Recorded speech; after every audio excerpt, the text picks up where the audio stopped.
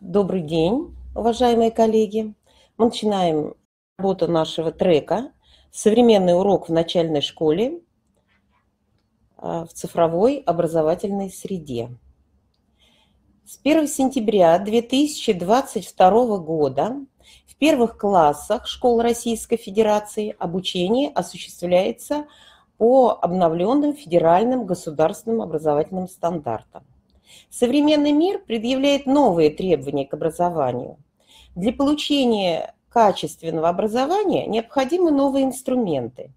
И одним из таких инструментов является компания «Мобильное электронное образование». Это отечественный продукт, который не уступает мировым аналогам. Современные дети живут в цифровом мире – и поэтому достижение результатов обучения невозможно представить без цифровых ресурсов. И вот сегодня в рамках работы трека учителя практики поделятся опытом работы по проведению современного урока с использованием цифровой образовательной среды мобильное электронное образование. Уважаемые коллеги, я прошу обратить внимание, что выступление не более пяти минут – и э, во время выступления э, необходимо э, всем остальным, кто слушает, отключить камеру и звук на своих компьютерах. Итак, уважаемые коллеги, опытом своей работы делится Матвеева Татьяна Васильевна, Воронеж.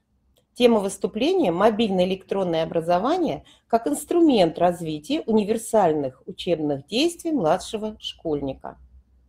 Татьяна Васильевна, мы с вами на связи. Слышно? Да, мы вас хорошо слышим и видим. Отлично. А, рада приветствовать. Меня зовут Матвеева Татьяна Васильевна. Я учитель начальных классов города Воронежа, школы 88. У меня первый класс, и с сентября этого года мы используем инструменты МЭО для развития универсальных учебных действий. А, в современной школе Основной задачей является формирование универсальных учебных действий. А у меня не переключается слайд. А, это достигается а, путем универсального учебного действия. Напомню, что это. Это умение ученика учиться самостоятельно, вне зависимости от того, будем мы рядом с учеником или нет. И все это достигается путем а, сознательного, активного присвоения учащимися э, жизненного и социального опыта. Формирование универсальных учебных действий э, во многом зависит не только от того УМК, которым мы пользуемся, а даже, наверное, в большей степени э, качеством учебных заданий, которые мы используем. И платформа МЭО дает нам великолепную возможность для развития любого вида универсальных учебных действий. Если мы посмотрим, то к нам э, в образование пришли показатели э, из э, экономики. Мы можем оценить качество образования с помощью показателей KPI. И вот платформа MEO дает как раз нам возможность работать с разными категориями детей, это и детки с это и одаренные детки, и подготовка к ВПР, и формирование функциональной грамотности. То есть э, максимальные возможности, которые можно только себе представить, потому что я имею опыт создания таких заданий в, э, на других платформах, а здесь, э, спасибо методистам, за меня сделана очень большая работа. А мне как педагогу остается совсем немного для того, только чтобы выбрать те задания, которые подходят конкретно к данному уроку. Что мне нравится? Все интернет-уроки построены по единой а, методологии на основе системно-деятельностного подхода. И мы с вами все прекрасно знаем, что учителю а, да и не только учителю, любого человека надо замотивировать для того, чтобы он начал действовать.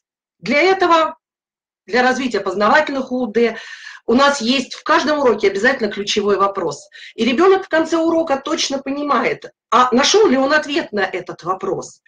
А, методологи подобрали задание таким образом, что они учат мыслить системно. А, знает ведь не тот, кто пересказывает материал, а тот, кто применяет его на практике. Вот вы можете увидеть задания, которые помогают нам у деток развивать познавательные универсальные учебные действия. Для развития... О, перескочила. А, для развития э, регулятивных э, универсальных действий а, задания подобраны тоже великолепно. Посмотрите, что такое регулятивные учебные действия. Это способность контролировать свои действия, выполнять по образцу, по правилу, соотносить свои действия с установленным алгоритмом. Перед вами пример таких заданий. Это а, соотношение своих действий с изученным правилом. Это возможность составить задачи по иллюстрации, по заданному решению. Это вопросы с открытым ответом, где нужно простроить а, по алгоритму свое высказывание. Вроде бы, несмотря на то, что мы работаем с вами на платформе и обучение чаще всего-то идет один на один, но методисты платформы подобрали такие задания, которые, даже если ребенок работает самостоятельно, дают ему возможность развить свою коммуникацию. Задай вопрос друзьям, спой вместе с друзьями. Если будет сложно, обратись за помощью ко взрослым. А, и такие задания присутствуют практически на каждом уроке. Учителю остается лишь а, выбрать те задания, которые, задания избыточные, и учителю остается только лишь выбрать те задания, которые подходят под его класс, непосредственно под а, его планирование. Личностные УД, пожалуй, единственные УД, которые у нас не оцениваются, но тем не менее личность ребенка тоже зависит от, развитие личности ребенка зависит от нас с вами. Посмотрите, какие потрясающие задания подобраны для формирования личностных УД. Твой край, опиши край, природу, людей, которые здесь живут. Найди фотографии, картины, которые помогут представить красоту твоей родины. Подумай, что ты можешь сделать для сохранения планеты. И вот последнее задание, вы знаете, оно меня, не могла его пропустить, оно меня действительно очень глубоко зацепило. А, в День верующего человека заканчивается и начинается молитвой. А какие чувства переданы в пьесах Чайковского «Утренняя молитва» и в церкви? Вот это возвращение к нашим чувствам, а, к нашему отношению к жизни, к нашему отношению к людям – а, это очень важно, и хочется сказать а, огромные слова благодарности людям, которые это разрабатывали. И это единственная платформа, где подобраны задания для развития всех видов универсальных учебных действий. если мы их с вами будем правильно использовать, то посмотрите, всем нам с вами знакома таксономия Блума, и чаще на уроках мы проходим первые три этапа. Знание, понимание, применение, а вот анализ, синтез, оценку мы отдаем. Платформа дает нам возможность пройти все этапы развития когнитивных знаний школьника. Спасибо большое за внимание. Спасибо большое, Татьяна Васильевна. Я напоминаю, уважаемые коллеги, если у кого-то возникнут вопросы, вы, пожалуйста, пишите в чате. Так, и как мы знаем, что познавательные универсальные учебные действия представлены тремя группами. Это логический, исследовательский и работа с информацией. Многие учителя говорят, что у ребенка либо есть логика, либо ее нет. И развивать ее, это дает, ну, в общем-то, небольших результатов. Уважаемые коллеги, конечно, я не соглашусь с этим. Развивать логику необходимо с первых дней обучения ребенка в школу. Логические универсальные учебные действия, то есть это анализ, синтез, сравнение, обобщение. И о том, как э, работает э, по развитию логических универсальных учебных действий на уроках окружающего мира – Э, как работать с детьми в этом направлении, расскажет Пеняскина Дарья Юрьевна. Дарья Юрьевна представляет Тамбов, Тамбовскую школу. Пожалуйста, Дарья Юрьевна. Спасибо. Добрый день, коллеги. Федеральные государственные образовательные стандарты определяют, что для успешного обучения должны быть сформированы познавательные универсальные учебные действия, в частности, логические – которые являются средством обобщения и систематизации знаний, а также составляют основу выведения новых знаний из уже имеющихся. Работа по развитию логического мышления должна быть регулярной, системной и целенаправленной. Какие же логические универсальные учебные действия должны быть сформированы у младшего школьника? Это анализ объекта и выделение существенных и несущественных признаков, синтез, сравнение, в том числе выбор оснований и критериев для сравнения, классификация, установление причинно-следственных связей, построение логической цепи рассуждений и умозаключений и так далее. Одним из педагогических условий формирования логических универсальных учебных действий является использование учителем цифровых образовательных ресурсов. Рассмотрим на примере окружающего мира в начальной школе, как цифровая образовательная среда мобильное электронное образование может помочь учителю в вопросе формирования логических универсальных учебных действий в рамках современного урока. Перед нами варианты заданий, где учащимся требуется распределить объекты на две группы – классифицировав их по определенным признакам. Дикие или домашние животные, корм для птиц и зверей. Задание из интернет-урока «Строение тела человека» предусматривает анализ понятий, нахождение лишнего и аргументацию своего э, мнения. В задании к уроку «Здоровье нет цены» ребят просят проанализировать меню, сделать вывод, определить, какого вида продуктов не хватает, дополнить меню и аргументировать опять свою точку зрения. Формирование такого навыка, как синтез, мы можем встретить в задании урока «Мир небесных тел», где с помощью слов для справки составляем готовую схему. А сравнивать дети будут учиться, отвечая на вопрос, почему сердце называют насосом нашего организма, или сопоставляя по определенным признакам природный газ и нефть при изучении темы в поисках подземных кладовых. Задание интернет-урока «Как сберечь природу России» направлено на развитие умения устанавливать причинно-следственные связи, в данном случае между экологической проблемой, ее причиной и путями ее решения. Непростое задание про опустынивание требует построения логической цепи рассуждений, которые приведут к установлению взаимосвязи между данными явлениями. Очень много заданий в разных классах можно найти на установление соответствия. Например, в теме строения тела человека соотнести название науки и того, что она изучает. В четвертом классе в теме «С севера на юг» это соответствие между природной зоной и растением или животным, которое в ней произрастает или обитает. И, конечно, на развитие целого спектра логических универсальных учебных действий направлены задания повышенной сложности, отмеченные звездочкой или обозначенные как подготовка к Олимпиаде – а также задания, объединяющие несколько курсов, например, в фокусе литература, в фокусе математика, в фокусе русский язык и так далее. Их на платформе огромное количество. Как вы видите, цифровая образовательная среда мобильное электронное образование, обладая внушительным контентом и широким спектром возможностей, станет прекрасным подспорьем педагогу в вопросах формирования и развития любого вида логических универсальных учебных действий. Спасибо за внимание. Угу. Спасибо. Здесь у нас есть вопрос. Записи трека будут размещены. Лишь, как у нас здесь вопрос? Вопрос у нас появился для Матвеева Татьяны Васильевны.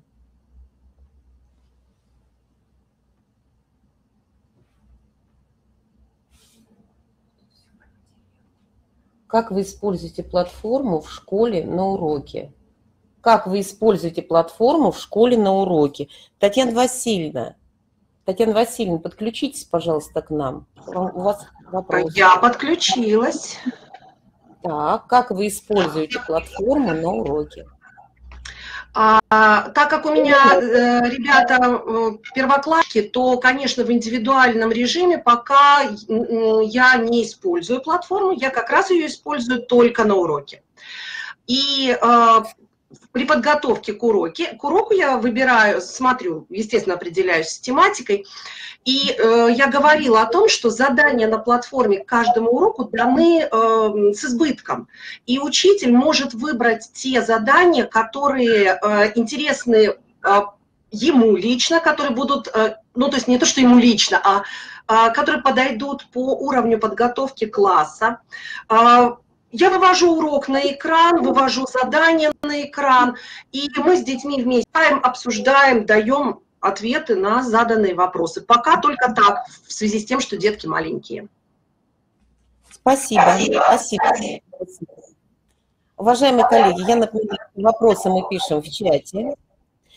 Итак, значит, Дарья Юрьевна, спасибо. Если вопросы каких Дарья Юрьевна, тоже можно обращаться в чат, а, в чате Итак, уважаемые коллеги, продолжаем представлять возможности формирования познавательных универсальных учебных действий средствами мобильного электронного образования. Так вот, о современных подходах к формированию информационной грамотности нам расскажет Толмачева Анастасия Борисовна. Анастасия Борисовна представляет Тамбовскую область, город Мичуринск. Пожалуйста, Анастасия Борисовна, вас слушаю. Добрый день, уважаемые коллеги. А, в своем выступлении сегодня хотелось бы а, мне затронуть одну из актуальных проблем современной школы – это формирование информационной грамотности а, младших школьников. Федеральный государственный стандарт начального общего образования отмечает, что в результате изучения всех, без исключения предметов в начальной школе, выпускники должны приобрести навыки работы с информацией. Навык поиска, анализа, применения, хранения информации – причем этот опыт работы а, закладывается на начальном этапе обучения, потому что именно он становится залогом успешного обучения ребенка в дальнейшем. Важно, чтобы эта работа велась планомерно. И как раз платформа МЭО способствует этому. Задание а, подобрано таким образом, что уже ребята с первых уроков сталкиваются с ситуациями, где необходимо работать с информацией, как с текстовыми источниками, так и с графическими. Предлагаю рассмотреть некоторые задания. Итак, первый класс, добукварный период чтения. А, ребятам предлагается соотнести звуковую информацию с графической. Диктор а, читает а, предложение, а ребята определяют, верно или неверно составлена схема к этому предложению. Или самостоятельно составляют предложение, прослушав его. Или э, снизу слайда вы видите задание, где ребятам предлагается рассмотреть иллюстрацию, подумать, о чем она э, рассказывает, и составить рассказ по этой иллюстрации с опорой на схему предложений. В первом классе при изучении темы, при изучении стихотворения Самуила Яковлевича Маршака «Апрель» ребятам можно предложить задание такого плана. Э, после анализа произведения предложить запечатлить те признаки весны, о которых говорил автор, на листе бумаги. А, в результате чего ребята и глубже прочувствуют содержание данного произведения и смогут прочитать его наизусть с опорой на свои рисунки. Четвертый класс чтения, тема Ильины три поездочки. Вот здесь как раз формируется умение а, находить информацию в тексте, по, а, которая представлена в прямой форме или в иной форме. Допустим, задание на экране вы видите определить длину а, хвоста и шерсти коня Ильи Муромца. Или предлагается поработать с языковыми особенностями былины, найти в тексте пример гиперболы, эпитета, существительного с уменьшительным ласкательным суффиксом. То есть мы видим связь с предметами и математикой, да, и русским языком, окружающим миром. А, также хочется остановиться на графических источниках информации. На экране представлено задание а, из учебного курса математика. Вот слева задание первого класса где ребятам предлагается задание на формирующее умение ориентироваться в таблице, в таблице на знание пространственных представлений, а, заполнять таблицу с опорой на иллюстрацию, а, чертить таблицы. И очень важно показать а, работу с разными таблицами, сравнительными, тематическими, обобщающими. Важно показать их практическую значимость. Ведь в жизни ребятам придется сталкиваться с разными рода таблицами. Да? Это и график дежурств, и расписание уроков, и расписание э, приема врачей в поликлинике в той же самой, и календарь. Вот на экране вы видите задание, где ребенку нужно посмотреть на календарь, на октябрь и определить, а каким же днем недели будет 4 ноября. И вот тут как раз э, важно показать еще историческое, а, остановиться поподробнее, да, потому что 4 ноября – это государственный праздник, поговорить о истории его возникновения. Еще одним удобным способом представления информации являются диаграммы. И вот на экране тоже я вывела задания, которые отрабатывают умение анализировать э, данные диаграммы, задавать вопросы, опираясь на данные диаграммы, э, отвечать на эти вопросы, соотносить э, информацию, например, в таблице и на диаграмме. Очень много заданий на в плане перенести данные, например, из таблицы на диаграмму. А, вот вы, на экране вы видите задание, где ребята знакомятся с профессией социолог, и им предлагается побыть в роли социолога, да, и провести социологический опрос, результаты которого отобразить на диаграмме. Такого рода задания, а, они облегчают понимание учебного материала, делают урок интересным, удерживают внимание школьников. На уроках окружающего мира много заданий по работе с картой, с планом местности. В общем, для учеников это, безусловно, интересно. А учителя данная платформа привлекает своим разнообразием, своей интерактивностью. Достаточно, как уже коллега сказала, из готового набора выбрать необходимое и э, из набора заданий и адаптировать под своих учеников. Спасибо за внимание.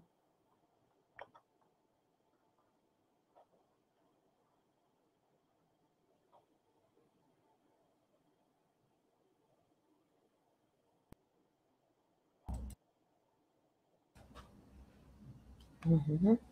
Камера, камера видна. Спасибо, Анастасия Борисовна. Так, уважаемые коллеги, переходим к формированию личностных универсальных учебных действий. Личностные универсальные учебные действия отражены в программе воспитания, которая реализуется в рамках внеурочной и учебной деятельности. Каждый предмет в начальной школе обладает воспитательным потенциалом.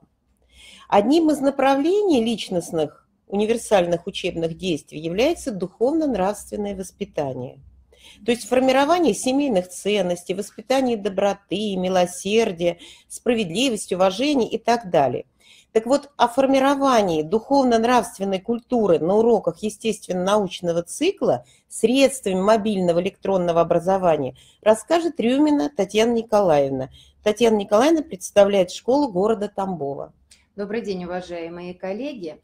Э, социально-экономические, культурные, образовательные изменения, происходящие в настоящее время в российском обществе, предъявляют более высокие требования к духовно-нравственному облику подрастающего поколения.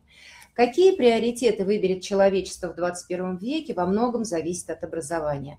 Поэтому одной из целей э, обновления федеральных государственных образовательных стандартов является повышение роли школы, воспитания молодежи как ответственных граждан России на основе традиционных российских духовно-нравственных и культурно-исторических ценностей. Духовно-нравственная культура – система ценностей и убеждений, образцов, стандартов и норм поведения, средства самореализации личности и группы в социальной жизни. Духовно-нравственная культура а, включает в себя совокупность знаний о природе, обществе, человеке и его внутреннем мире. Под духовно-нравственными ценностями – понимаются основополагающие в отношениях людей друг к другу, к семье, к обществу принципы и нормы, основанные на критерии добра и зла, лжи и истины.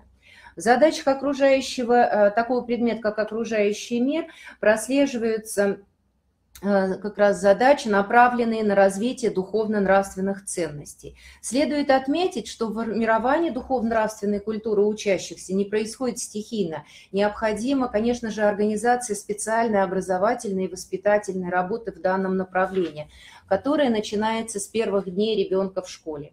Широкий спектр возможностей для учителя, для организации работы по формированию духовно-нравственной культуры с детьми содержит цифровая образовательная среда, мобильное электронное образование.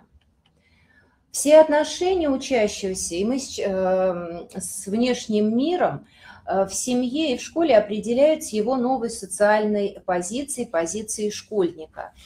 И мы сейчас рассмотрим, с чем же сталкивается ученик, придя в школу на предмете окружающего мира.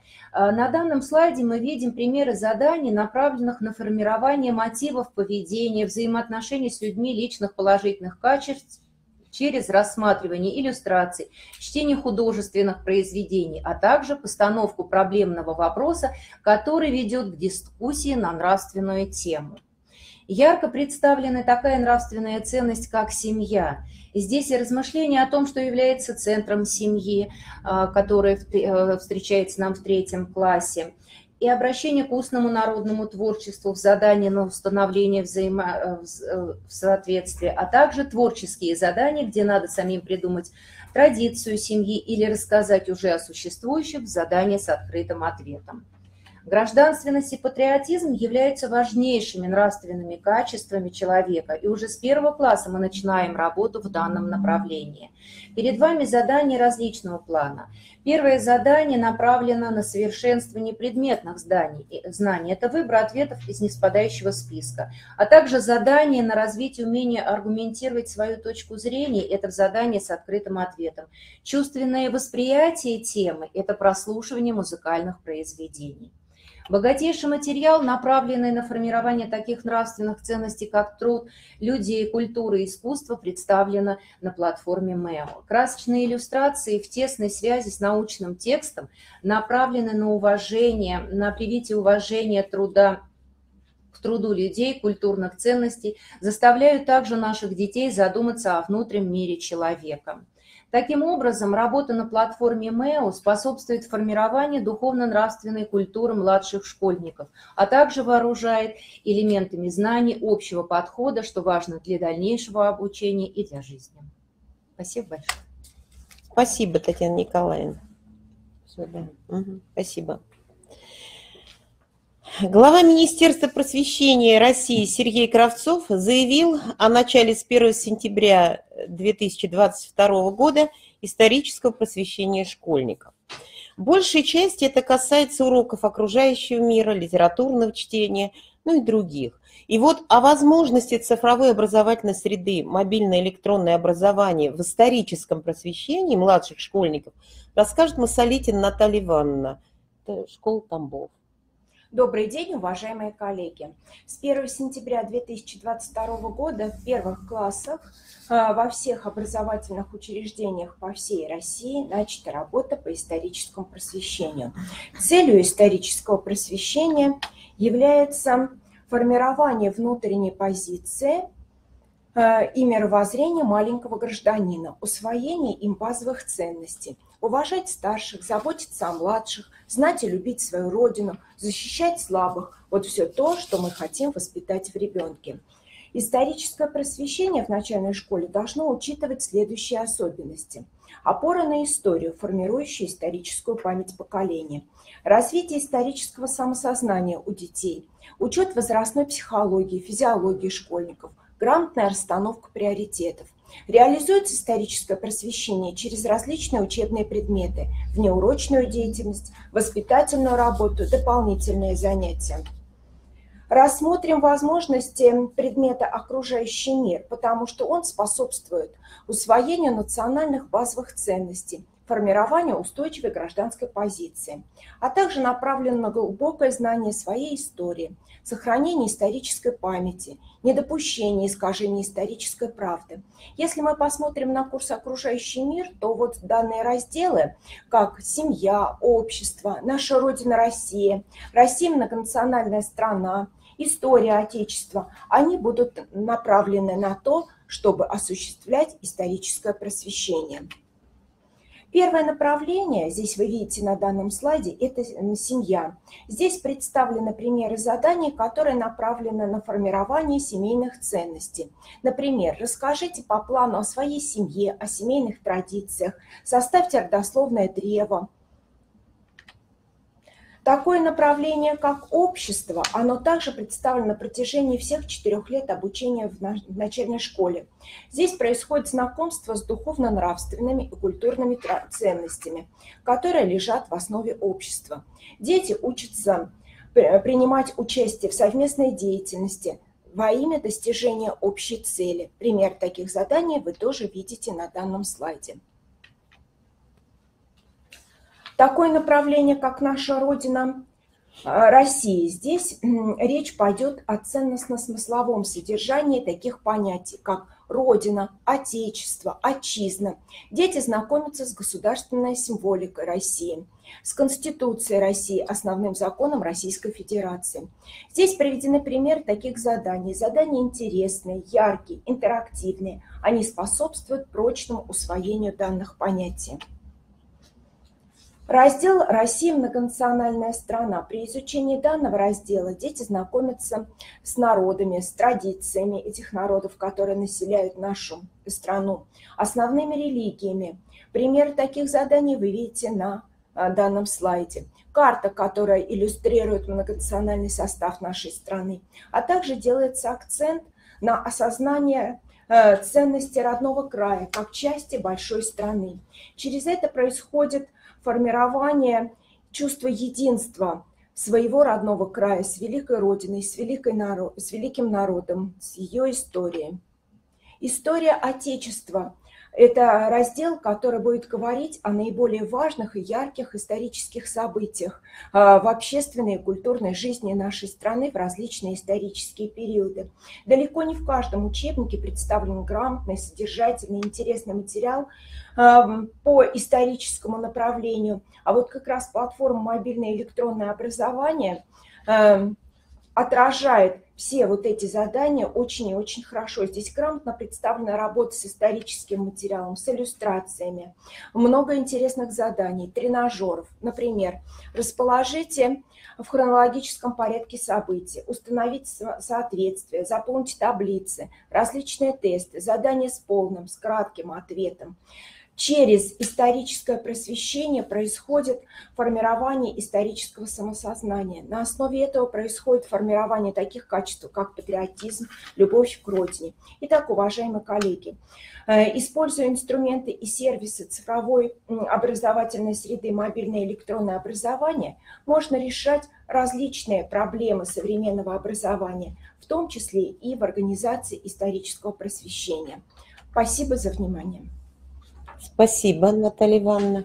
Уважаемые коллеги, не забывайте, если у вас будут вопросы в чате, писать. Спасибо.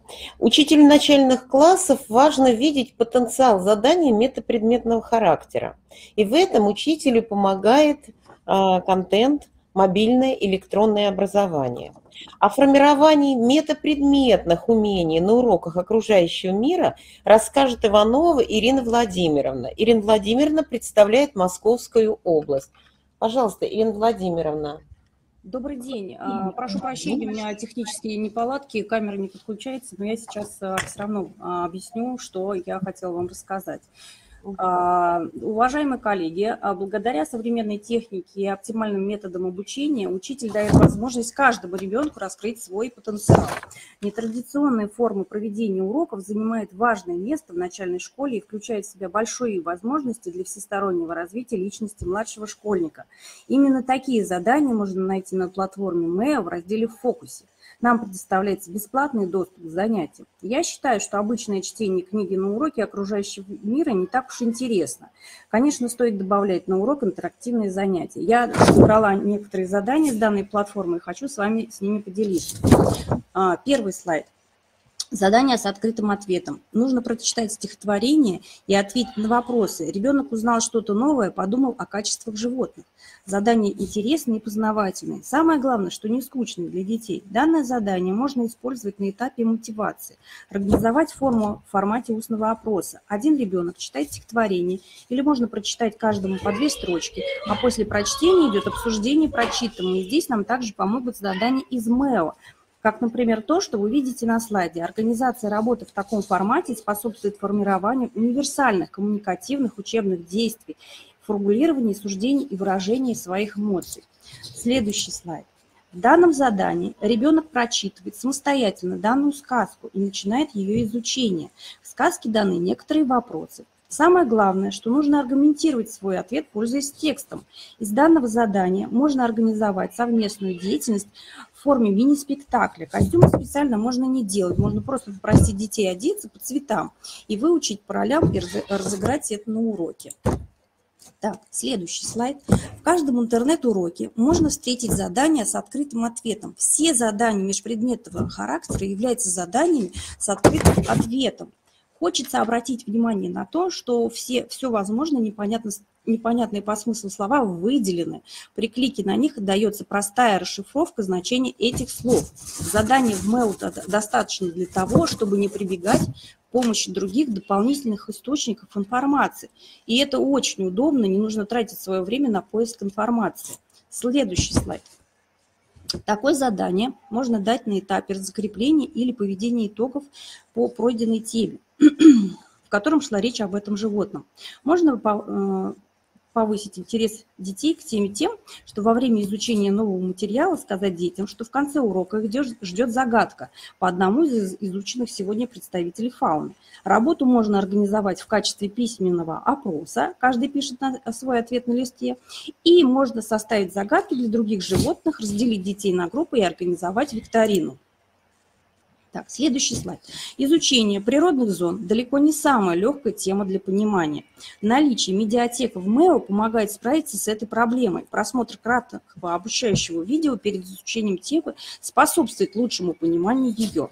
Данное задание, стихотворение, можно использовать либо на этапе изучения новой темы, непосредственно перед объяснением самой темы, либо на этапе закрепления пройденного материала. Можно придумать различные формы работы с данным заданием, например, после прочтения попросить попросите выделить слова, которые указывают на то, что это именно природная зона именно тундры.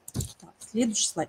Помимо литературы в МЭО можно встретить межпредметное задание и по математике, и тоже в теме природной зоны тундры. Дети явно не ожидают получить математику на уроке окружающего мира, поэтому получается замечательная смена вида деятельности. Следующий слайд. Хочу показать еще одно задание с данной платформы по русскому языку, разбор слова по составу. Еще два примера по литературе.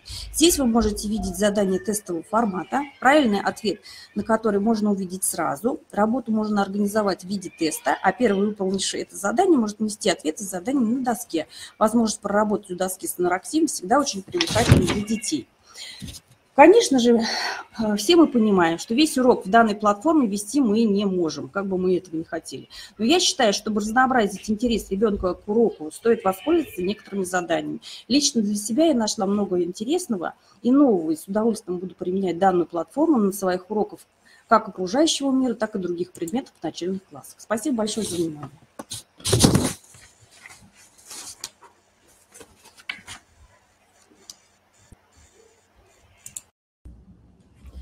Спасибо, Ирина Владимировна. Вопросов пока нет. Продолжаем. Большое значение в получении качественного образования имеет мотивация. В образовательном процессе мотивация является одним из этапов урока. И учителю важно знать, что момент мотивации подготавливает ребенка к изучению новой темы, к открытию новых знаний. Так вот, своим опытом работы сейчас по организации мотивационного этапа урока в начальной школе с помощью цифровой образовательной среды мобильное электронное образование поделится Огурцова Виктория Олеговна а, из Московской области. Виктория Олеговна. Здравствуйте. Меня Здравствуйте.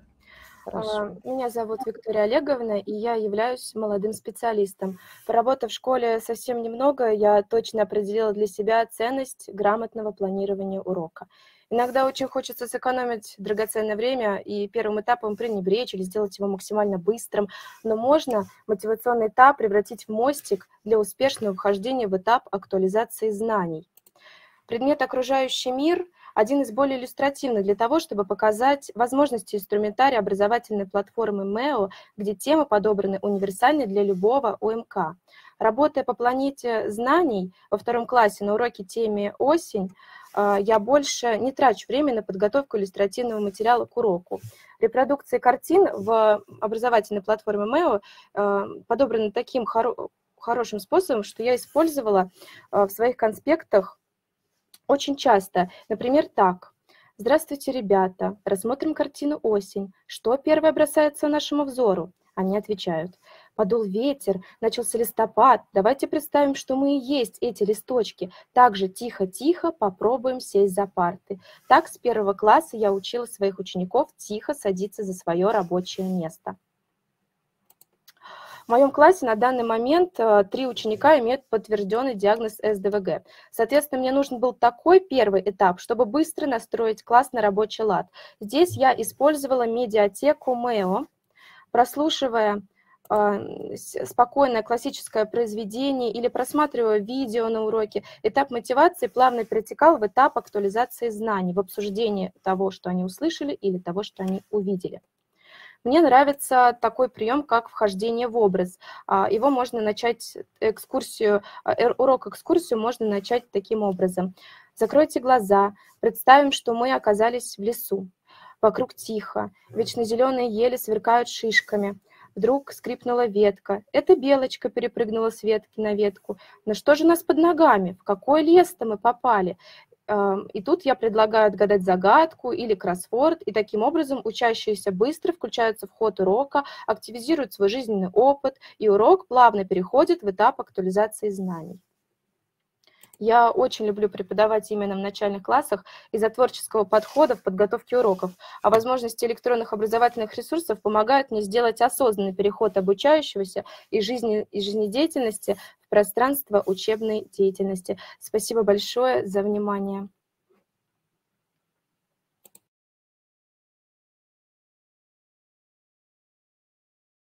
Работаем с вами. Сейчас, сейчас, сейчас. Спасибо. Так. А, уважаемые коллеги, подготовка к всероссийским проверочным работам – одна из важных задач для педагога. Здесь главное – видеть конкретные проблемы и их решать, потому что в, э, в противном случае это будет просто натаскивание. И вот контент мобильного электронного образования помогает решить и эти проблемы.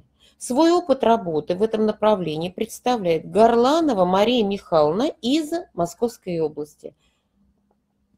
Мария Михайловна. Да, здравствуйте, добрый день, уважаемые коллеги. Добрый день. А, сегодня я хочу поделиться опытом использования цифровой образовательной платформы «Мобильное электронное образование» а, при подготовке в четвертом классе. Для выбора заданий а, учащихся сначала я знакомилась с демо-версией ВПР в четвертых классах и выделила проблемные темы, чтобы проработать их с детьми. Значит, первое задание по русскому языку, с которым возникают трудности у класса, это определять тему и главную мысль текста.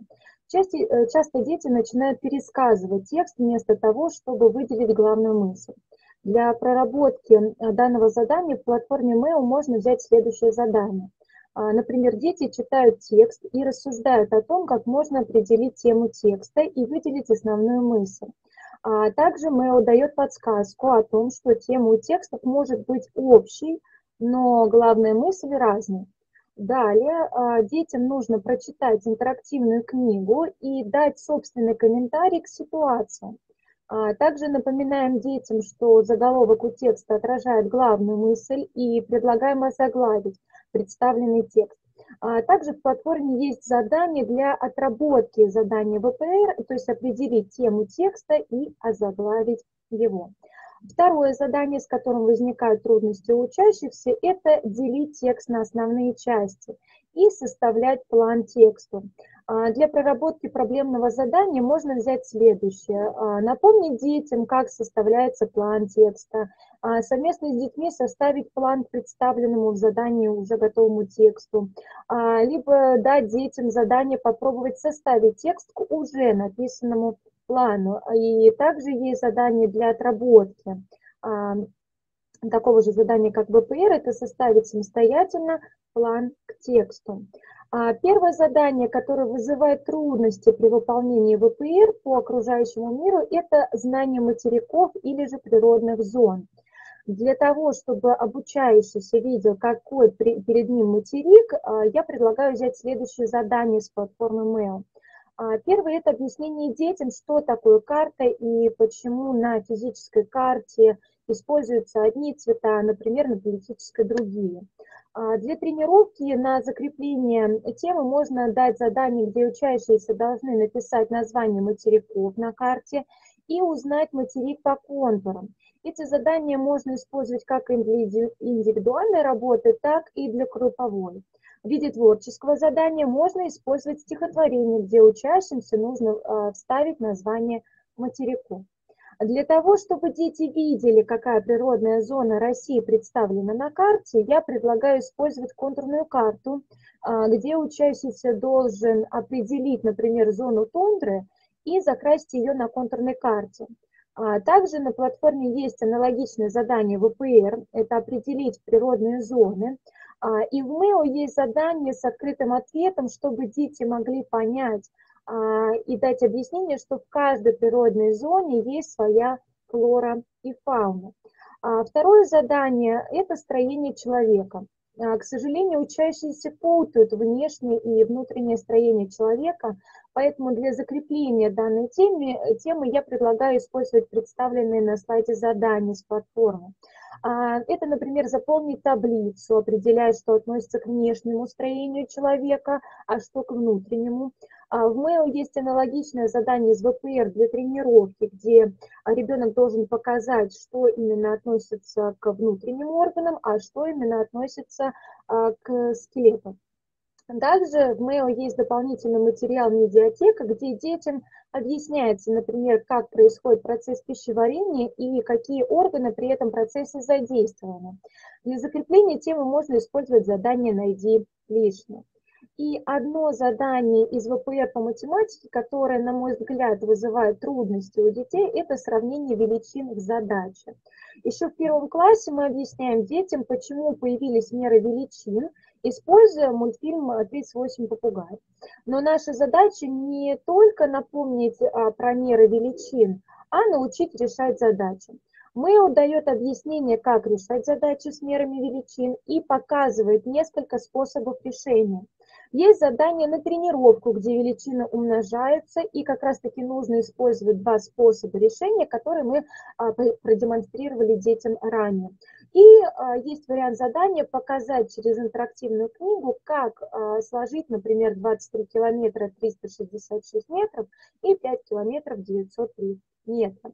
Из представленных заданий я могу сделать вывод, что с помощью платформы Mail четвертый класс легче подготовить к ВПР, а, чтобы закрепить а, проблемные темы. Спасибо за внимание. Угу. Спасибо. Мария Михайловна. Уважаемые коллеги, вот у нас поступил вопрос от Дарьи Павловой. По окружающему миру имеются ли видео с практическими работами и опытом по темам на платформе? Вот нам здесь отвечает видеоконтент сейчас в разработке.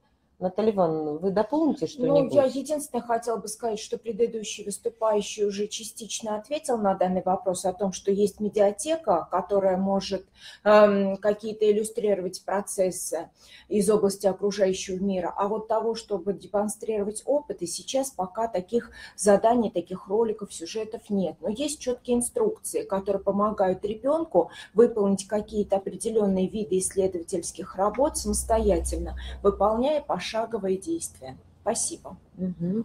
Спасибо. И вот еще вопрос.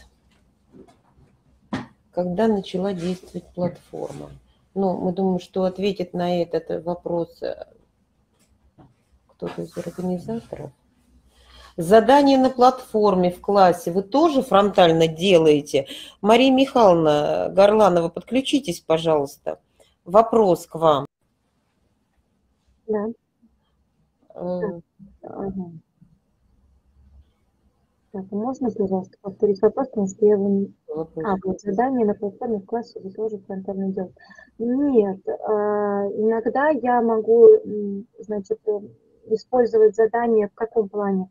А, я могу делать рабочие листы как раз-таки, где включаю вот эти вот все задания, которые есть в платформе. А, потому что все-таки нужно соблюдать э, нормы Санпина, которые у нас присутствуют. И в э, третьем классе, например, а, мы можем использовать интерактивную доску только 20 минут. И чтобы уложиться в это время, а, я делаю рабочие листы. И также эти задания можно сделать э, в виде, допустим, например, квеста, и также представить не только в интерактивном варианте, но и также на листах бумаги. И можно также использовать и в групповой работе, конечно. Спасибо. Спасибо. Одной из форм проведения интеллектуальных соревнований в начальной школе является предметная олимпиада. Они помогают выявить не только знания по предметам, но и применять эти знания в нестандартных ситуациях. Мобильное электронное образование представляет большие возможности развития логического мышления, работы с информацией, формирования исследовательских навыков. Опыт своей работы в этом направлении представит, представит Фефилова Надежда Валентиновна из Тамбова. Надежда Валентиновна. Добрый день, уважаемые коллеги. Предметная олимпиада – это форма интеллектуального соревнования учащихся в определенной научной области, позволяющая выявить не только знания фактического материала, но и умение применять эти знания в новых нестандартных ситуациях, требующих логического и творческого мышления.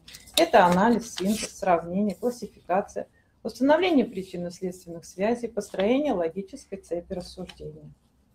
Логические умения не даны человеку от рождения. Они развиваются в течение всей жизни – Работа по развитию логического мышления младших школьников будет более эффективной, если она специально организована. Любой навык – это как мышца в теле. Чтобы он развивался и всегда находился в тонусе, нужно уделять время и внимание тренировкам. Если встраивать несложные логические задачи в учебные занятия, вы заметите, насколько легко даются детям более сложные. Необходимо создавать педагогические условия, способствующие подготовке младших школьников к предметным олимпиадам. А сегодня я хочу обратить ваше внимание на встраивание цифровых образовательных ресурсов в образовательный процесс. И именно использование средств цифровой образовательной системы мобильное электронное образование для развития базового логического мышления, необходимого в решении олимпиадных задач. В интернет-уроках математики МЭО уже с первого класса, коллеги, мы найдем задания, которые формируют навыки анализа, синтеза, сравнения – Дети учатся классифицировать, находить лишние предметы, продолжать ряд элементов на основе логических рассуждений, познают законы ребусов. Начало заложено, и тогда во втором классе дети уже умеют справляться с более сложными заданиями, учатся разгадывать кроссворды, решать логические задания текстовой формы, приобретают навык решения задач через заполнение таблицы. И, конечно, вызывает интерес у всех буквально детей – решение интерактивных, наглядных логических задач. В структуре уроков математики третьего класса мы уже встречаем целевые задания по подготовке к олимпиадам. Они помечены олимпиадным значком с пятью кольцами. Здесь мы продолжаем работу с ребусами более сложной формы, текстовыми задачами на логику, и появляются олимпиадные задачи с геометрическим содержанием. Выстроив правильно систему работы по формированию олимпиадного мышления, мы к четвертому классу имеем уже определенный уровень развития логических универсальных учебных действий. Для их закрепления и дальнейшего развития в уроках четвертого класса на платформе МЭО мы найдем и сложные ребусы, и головоломки, такие как танграмм с их историей происхождения, и текстовые сложные задачи с помогалкой в виде иллюстрации – а под рубрикой «Готовимся к итоговым работам» задачи с объемными геометрическими объектами. Здесь же в серии задания по подготовке к Олимпиаде мы имеем возможность работать со сложными геометрическими задачами, и они сопровождаются наглядным материалом. Его можно скачивать и распечатывать для работы. И, наконец, здесь есть задачи, помеченные заголовком «Задачи повышенной сложности». С ними мы развиваем логические навыки. Задачи с историческим содержанием развивают исследовательское мышление. И ряд тренажеров «Клуб знатоков» в четвертом классе повышают мотивацию к решению олимпиадных задач по математике. Вот так постепенно интересно с помощью инструментов цифровой образовательной системы МЭО мы приводим наших воспитанников к победам в школьных, муниципальных и в онлайн-олимпиадах по математике. Спасибо за внимание. Спасибо, Надежда Валентиновна. Спасибо. Цифровой образовательный контент, мобильное электронное образование можно использовать в рамках всех предметов начальной школы – Потенциал заданий мобильное электронное образование направлен на достижение планируемых результатов всех видов, э, предметных, метапредметных и личностных. О возможностях использования ресурсов мобильного электронного образования на уроках окружающего мира в третьем классе расскажет Кукса Марина Александровна из Московской области. Марина Александровна, подключайтесь к нам.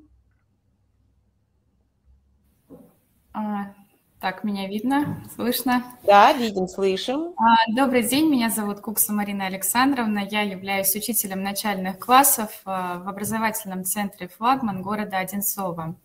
А, тема моего выступления – использование цифрового контента МЭО на уроках окружающего мира в третьем классе.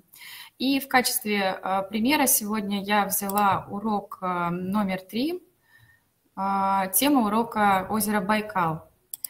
После опроса обучающихся в начале урока учитель проговаривает э, мотивационный компонент. В данном уроке используется метод э, проблемного обучения. Мы выдвигаем гипотезу, используя при этом а, медиатеку, а, интересные факты. А, так, пытаюсь перелистнуть страничку. Вот. В верхнем правом углу мы можем увидеть данную рубрику. Данная платформа предлагает нам несколько вариантов э, подведения к теме урока. Это может быть э, иллюстрации, а, интересные факты, а, аудиозапись с песней про озеро Байкал. А, кроме этого, ученикам еще перед изучением темы дается вопрос, то есть э, выдвигается сама гипотеза, над которым они должны поразмышлять и записать свое предположение в специальном блоке. Вот, мы можем видеть это на экране. Хочется отметить, что на платформе MEO на протяжении всего урока мы можем встретить э, как работу с текстом, так и дублирование данного текста в аудиоформате. А, так как каждый человек имеет э, один основной канал восприятия информации, то данная функция позволяет нам во время урока включить в работу как э, визуалов, так и аудиалов. Далее мы работаем по теме урока, идем в соответствии с планом урока и ставим перед собой цель э, сформировать представление об, об озере Байкал. И, конечно, без наглядности мы не можем обойтись на уроке. Наглядность – одно э, из важных э, средств умственного развития ребенка.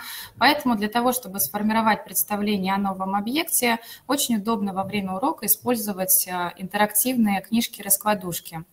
А, листая такие книги, а, учитель показывает детям, как прекрасна озеро, э, природа озера Байкал в разное время года.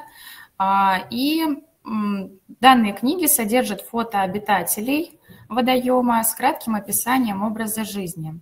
И в таких книжках могут встретиться слова, которые требуют э, особого внимания или пояснения. И нажав на выделенное слово, э, появится аудиообъяснение и само значение слова. После просмотра таких э, книжек учитель может задать детям ряд вопросов, какой самый красивый пернатый хищник, в какое время года, какое время года самое живописное, на твой взгляд, и многие другие.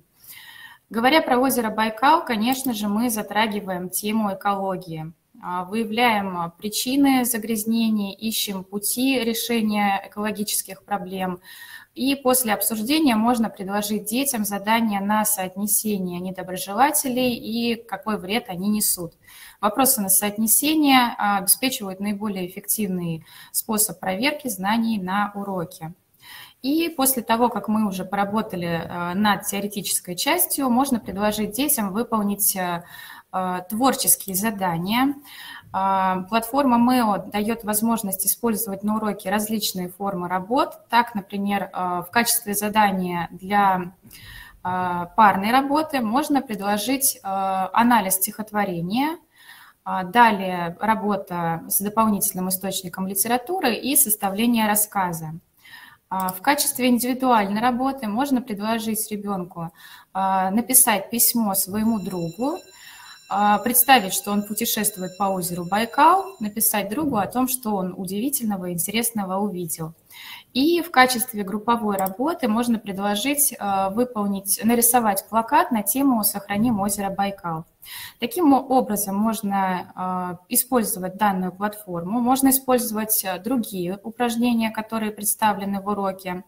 А, использование цифровой платформы MEO сократит время подготовки к уроку. Здесь уже есть готовые интерактивные задания, благодаря которым урок получается ярким и запоминающимся. Все представленные задания способствуют э, формированию универсальных учебных действий и достижению метапредметных результатов э, в зависимости от э, выбранных форм работ. И самое главное, благодаря данной платформе э, у нас реализуется одна из важных э, задач системы образования – научить э, детей учиться. Спасибо за внимание.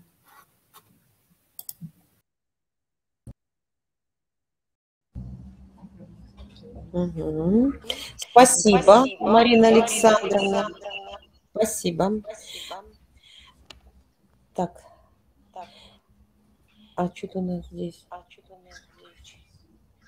Марина Александровна, выключите. Угу. А возможности использования, использования цифровой образовательной среды мобильное электронное образование на урок русского языка для получения планируемых результатов.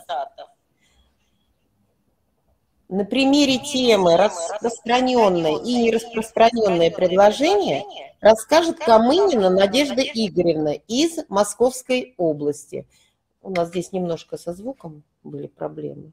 Итак, Камынин Надежда Игоревна. Надежда Игоревна, вот все, мы вас видим. Спасибо. Угу. Только не слышим, Надежда Игоревна.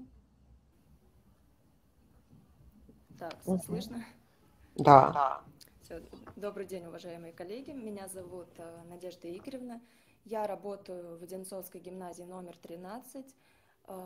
И пусть опыт работы у меня не такой большой, но я всегда стараюсь находить э, что-то новое. И так я нашла платформу Meo и на уроках стараюсь ей активно пользоваться.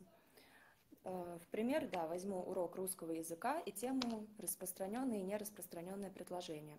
При открытии новых знаний детям предлагаю следующее задание с этой платформы. Оно направлено на формирование познавательных умений, так как ученики сравнивают два предложения – Познавательные УД обеспечивают успешное усвоение знаний, умений и навыков. Дети тем самым учатся формулировать выводы и подкреплять их доказательствами на основе результатов проведенного наблюдения. Также мы можем провести небольшой эксперимент, закрыть э, все второстепенные слова. А, дети еще очень часто называют их другие слова. Мы опять же наводим их на правильно, чтобы они правильно говорили. А, в предложении осталась только основа. Обеспечиваем тем самым и восприятие, осмысление и первичное запоминание знаний. С помощью следующих э, заданий мы устанавливаем правильность усвоения учебного материала, выявление неверных представлений и их коррекция. Коммуникативные УД здесь направлены на умение с достаточной полнотой и точностью выражать свои мысли – задание на составление предложений можно дать как на пару, так и на группу. А, мы создаем условия для успешного сотрудничества с одноклассниками. Затем, когда отвечает представитель от группы, то он корректно и аргументированно высказывает свое мнение. И уже на этапе закрепления обучающимся предлагается задание на формирование регулятивных навыков, то есть делается разбор предложения. Я практикую следующий игровой метод – Самого смелого вызываю к доске, остальные работают в парах. Э, наш смелый у доски выбирает правильные ответы, остальные на полях в тетради пишут свои варианты. Э, потом меняются и, слушая правильные ответы, проверяют. Э, дети сравнивают результаты своей деятельности и деятельности одноклассников, объективно оценивают их. Так как во втором классе ребята уже умеют работать в группах, то я стараюсь данный вид работы проводить при любом удобном случае. Это учит детей а, принимать цель совместной деятельности, коллективно строить действия по ее достижению, распределять роли, договариваться, обсуждать процесс и результат совместной работы. В данном задании мы лишний раз отрабатываем умение составлять предложения, плюс добавляем новые знания с уроком. А, данное задание направлено на коммуникативные универсальные учебные действия. Дети создают письменные или устные тексты, повествование, описание, рассуждения, но это уже в соответствии с поставленной задачей.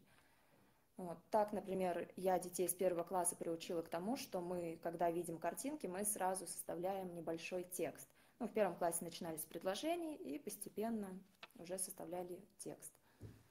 А, в классе мы работаем по двум картинкам, Э, устно, э, развивая ученика полно и грамматически правильно выражать свои мысли, мы подводим его к освоению связной речи.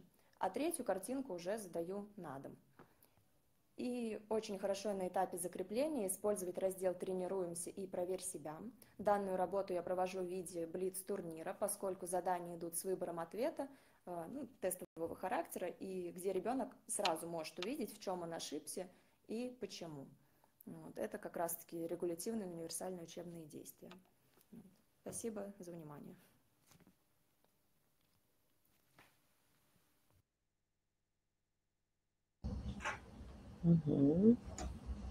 Спасибо, Надежда Игоревна. Спасибо. Итак, уважаемые коллеги, переходим к математике. Какие же возможности нам представляет, а, предоставляет мобильное электронное образование для получения планируемых результатов по математике? На эти вопросы на примере темы «Сложение с переходом через десяток» ответит Спирина Надежда Павловна из Московской области. Надежда Павловна, вы к нам подключитесь, пожалуйста.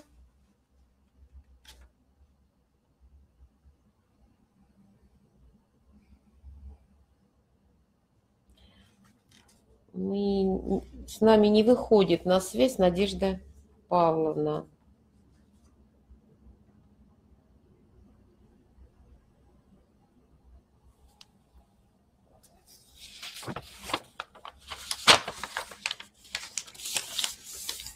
Не вышла на связь. Ага, Надежда Павловна. Все.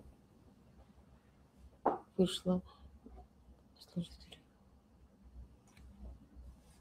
Надежда Павловна, мы вас не слышим.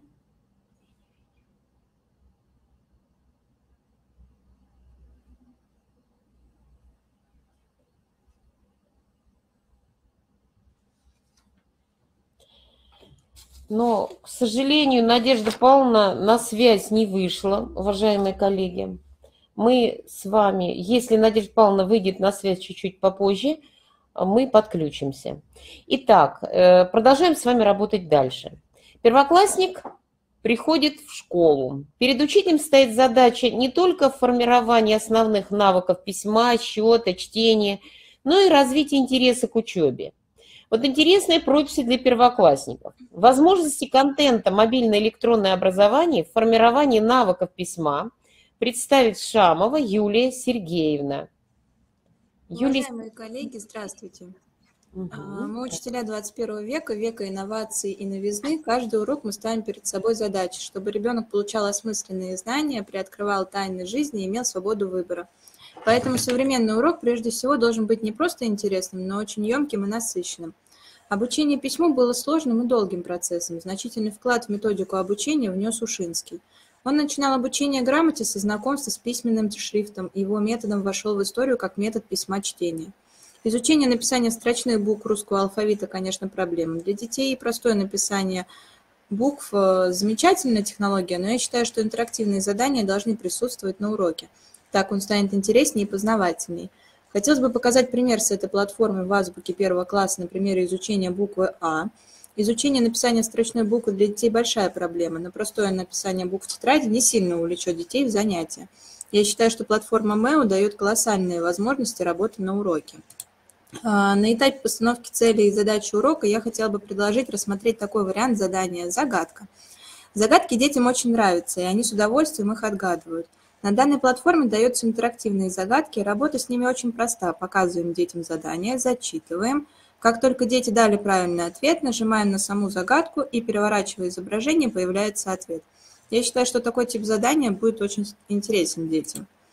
На этапе актуализации могу предложить такой вариант. Часто сталкиваемся с тем, что нужно ребятам показать, как прописывать букву. Для этого можно взять видео и показать это. Искать в интернете видео иногда создает проблемы, такие как не открылся сайт, видео не такого формата и так далее. Давайте рассмотрим, что нам предлагает Mail. Нашла интересный видеофрагмент про правописание заглавной и строчной буквы А, и такие фрагменты есть на каждую букву в нашем алфавите.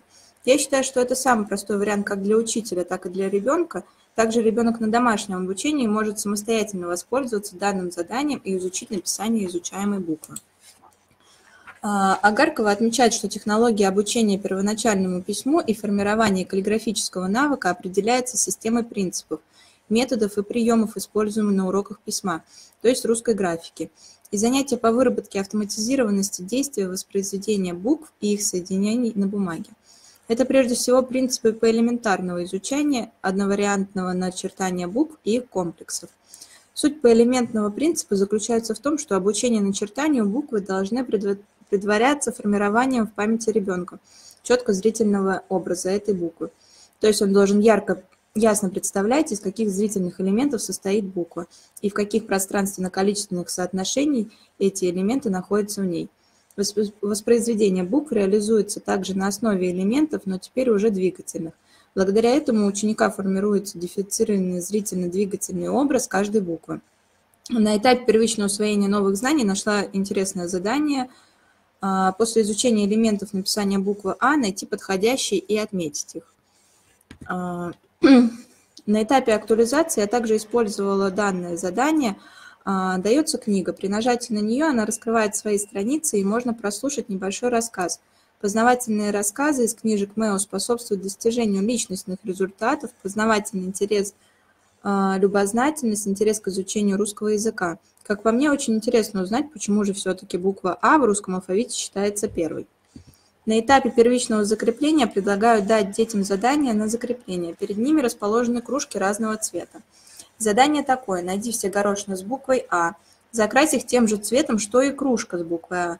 Опять же присутствует поисковой метод, и можно предложить групповую форму работы с этим заданием. Соревнование, например, кто быстрее. Этим упражнением дети повторяют, с какой буквой мы сегодня познакомились. Работа в команде способствует формированию регулятивных универсальных учебных действий в совместной деятельности и самоконтроле. А, вся азбука построена по такому принципу изучения и написания букв из урока в урок. Благодаря этой платформе интереснее проходит изучение каждой буквы, чем простое написание в тетради. Представлены видеофрагменты уроков, а также интерактивные задания для изучения каждой темы. Спасибо за внимание.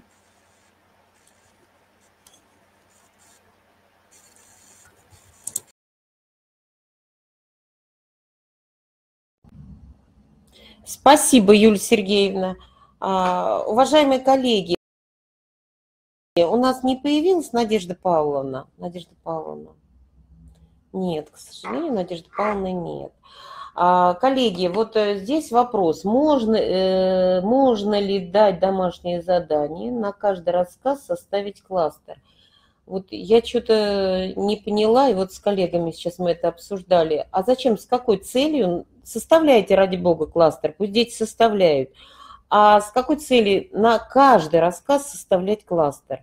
Здесь вот, наверное, не совсем понятен вопрос. К сожалению, не могу на него ответить. А вообще можно, но вот цель на каждый урок составлять, не знаю. Итак, уважаемые коллеги, сегодня в рамках работы трека мы э, увидели возможности цифровой образовательной среды мобильное электронное образование в достижении э, требований обновленных федеральных государственных образовательных стандартов начального общего образования. Большое спасибо всем за выступление. Мы надеемся на дальнейшее сотрудничество. А, уважаемые коллеги, мы постоянно проводим э, семинары, вебинары для учителей начальных классов и будем рады, если к нам будут подключаться а, учителя из различных регионов. А, итак, еще раз спасибо всем за участие. Впереди большой, волшебный, сказочный праздник. Поздравляю вас с наступающим Новым годом. Пусть самые теплые пожелания обязательно сбудутся. Пусть Новый год принесет много интересных цифровых открытий. Здоровья вам, добра и счастья, уважаемые коллеги.